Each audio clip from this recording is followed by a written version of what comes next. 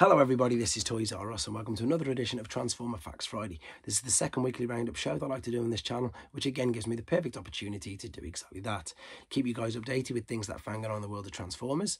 I'll let you know what's happening with this YouTube channel and of course my Instagram, which is toys underscore R Us. This once again is going to be part one of two installments, purely because I've got about 20 different things to go through with you, so I'm going to split it into two.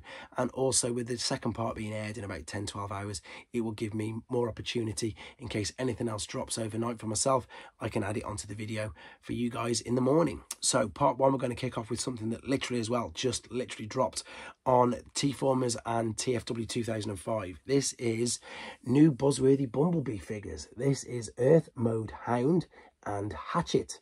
No other information, unfortunately, whether these are a pair, a twin pack, um, what they're going to be released as. All we know is they're Buzzworthy Bumblebee, and you can tell already that is a use of the Siege mould all the uh, holes and pegs and everything, all the parts are in exactly the same place as the Siege. I just had to do a quick double check with my own, to be honest, and you can see there all the five millimeter ports and everything are pretty much the same. And I suppose it's going to, as, as well, add fuel to the fire that they're going to be using that mould for detritus as well. So it's all win-win for Hasbro at the moment in the use of this mould. And there is Hatchet. No idea what mould that is, but looks very, very interesting. Um, hopefully I'll get a bit more information on that.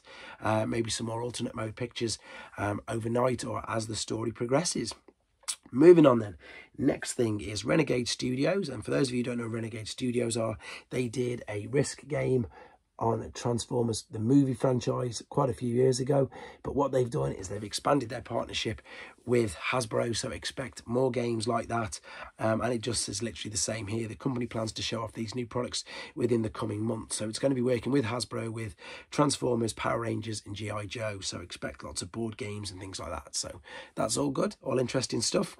Moving on, we've seen these before. We've just got some more in-hand images in different poses, and these look great, to be honest. So this is Magic Square, and this is the ones, you know, they're the one who took the Arcee mold or their version of Arcee and made a load. So this is their MS32.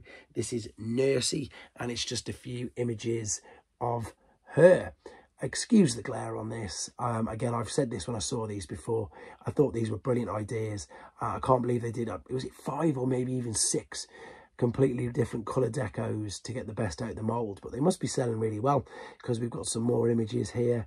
And I just love the fact that they managed to be able to do all that. Okay, moving on, you can see there, and I'm glad you can read that because I'm going to go on to the next thing anyhow. This is a campaign held by HalloweenCostumes.com, and you can win any of these. Do you remember these? We had a look at these a few months back. These are, of course, the transforming costumes um, again for Halloween allegedly. But what they're saying is, let me just read out for yourself.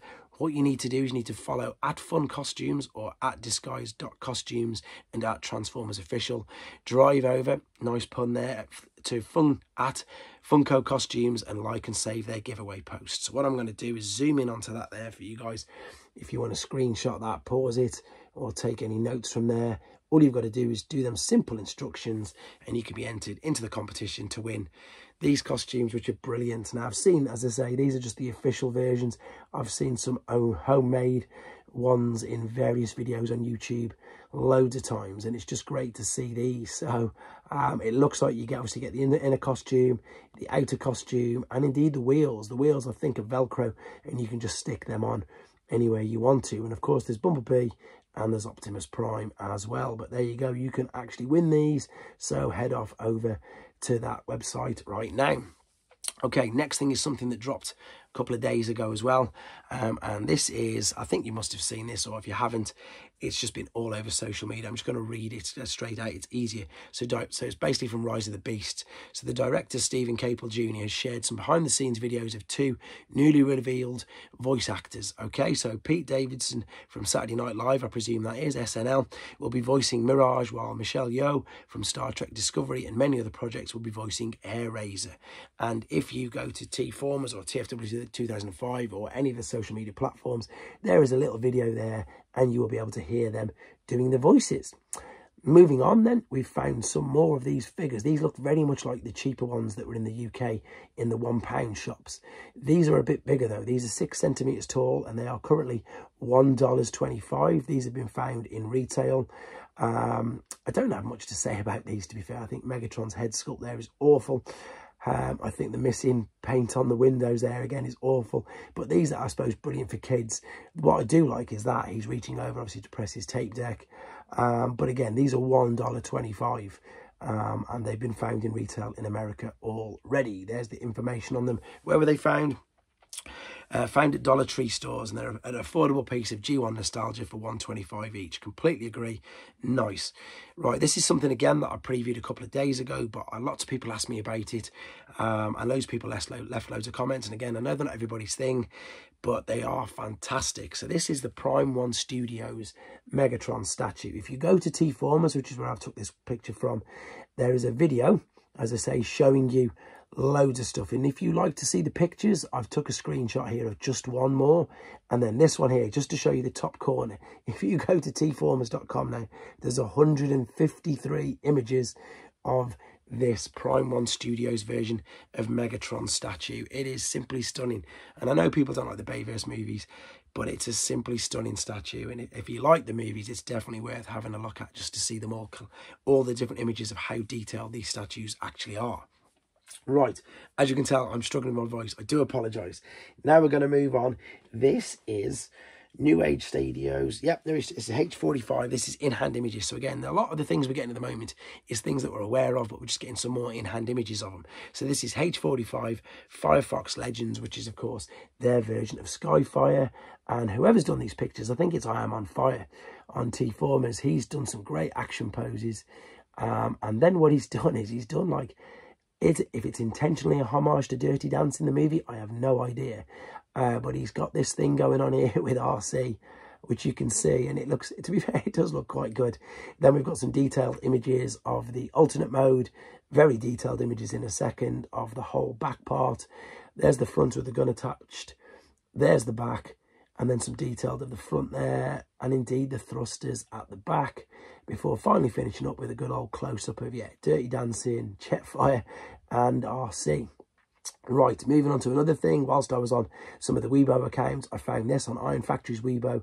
This is, I suppose it's their own sort of transforming vehicles. This is their Iron Samurai series, IFEX56, Tetsubi Red. And it's it's not, it's A, so it's a Iron Samurai in red which you can see this guy comes with an abundance of accessories. So he's got a gun as well. He's got samurai blades. He's got his flag. He's got two samurai blades. He's got a long staff. Um, he's got a spear. He's got tridents. He's got everything. Um, and in a second, you'll see images of all the parts. There you go that come with him. And you can, of course, then display them if you want in the alternate mode, either like that, sorry, all tucked away, or them with all the bits on it absolutely insane. It looks great. And that pretty much is going to end the first part, as you see. I'm just going to quickly show you them again because they were there at the end, but I've started with them because they're most important. Fingers crossed we'll get more information on them during the night for me and I can let you know. With regards to this YouTube channel, um, I've just done G2 Meg's core class. Um, I'm doing core class Soundwave at the moment as well. And then I've got the rest of them to get through, including Jhiaxus with that secret bit where you can take the bit off the front. I'm definitely going to be including that in the video as well. Just a reminder, 10 p.m. UK time, I'm going to go live again to discuss things like this and the new figures coming out as well and anything else that you guys want to see. I've already got a list of figures that people want to see already starting to build, which is brilliant. And fingers crossed, I've got a couple of new t-shirt designs as well, which I can premiere on that on that event as well. So hope to catch you guys there. Um, let me know whatever else you want to see. It's in there's a, there's a space for you to comment on there. Fingers crossed, I'll have my voice back for the morning, and I'll be back to you with part two. Thank you ever so much, everybody, channel members, everybody as well. Thank you very much for supporting this channel. Take care.